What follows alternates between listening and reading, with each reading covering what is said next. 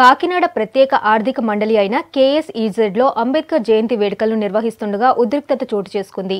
సంధ్య రొయ్యల ఫిల్లింగ్ పరిశ్రమలో పనిచేస్తున్న నాగులాపల్లికి చెందిన సాహుల రెడ్డి అంబేద్కర్ని అవమానిస్తూ వాట్సాప్లో ఓ పోస్ట్ చేయడంతో కొత్త మూలపేట గ్రామస్తులు ఆందోళన చేపట్టారు. ఈ మేరకు సాహుల్ రెడ్డిని నిలదీశారు. విషయం తెలుసుకున్న పోలీసులు సంఘటనా స్థలానికి చేరుకున్నారు. గ్రామస్తుల కోరిక మేరకు అంబేద్కర్ విగ్రహానికి పాలాభిషేకం చేయించి క్షమాపణ చెప్పించారు. దీంతో ఘర్షణ సద్దుమణిగింది. ఈ కార్యక్రమంలో వైఆర్కే శ్రీనివాసరావు ఎస్ఐ అబ్దుల్ నబీ శంకరయ్య తదితరులు పాల్గొన్నారు.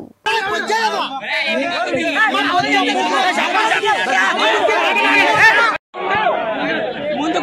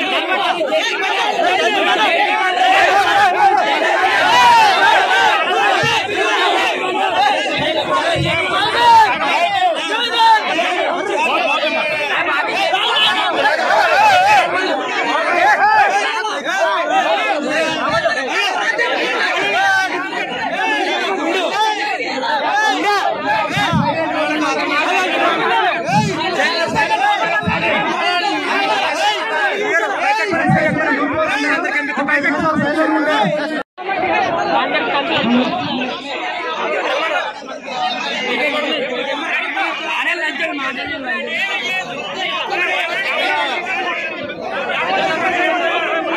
వాడు.